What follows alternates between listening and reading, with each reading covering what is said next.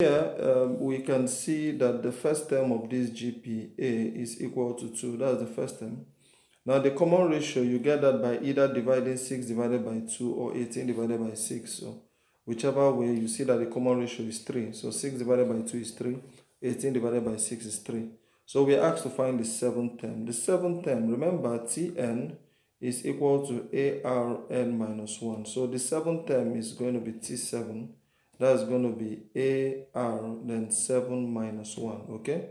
So we can substitute the value for A here is 2 then your R is 3 raised to power 7 minus 1 is 6 so that's going to give us 2 times 3 raised to power um, 6 uh, which of course means 2 times 7 to 9 okay? Which is going to be um, 14 1 4 um, 5 8 okay 1458 as the answer to that question.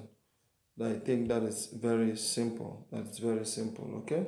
So let's see the next question. We are asked to find the nth term, okay?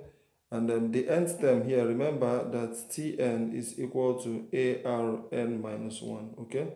So it means that um, your A, we already have to be 2, and your R is 3 n minus 1. So the answer is just simply 2 into 3 raised to the power n minus 1. That will be the answer. That will be the nth term of that particular sequence. Okay, we see another question here. We have that the first term of a GP is half and the fourth term is 1 over 16.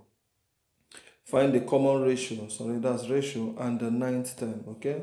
First of all, we are given that the first term is half okay and um, the fourth term which is t4 is 1 over 16 now but you should know that fourth term if we substitute into the formula it will be ar3 that means arn minus 1 so 4 minus 1 is 3 okay equal to 1 over 16 i can substitute the value of a here which is half. So we have half r equal to 1 over 16 now if I divide both sides by half or I say cross multiply these two, I'm going to get r cubed to be equal to 1 over 8.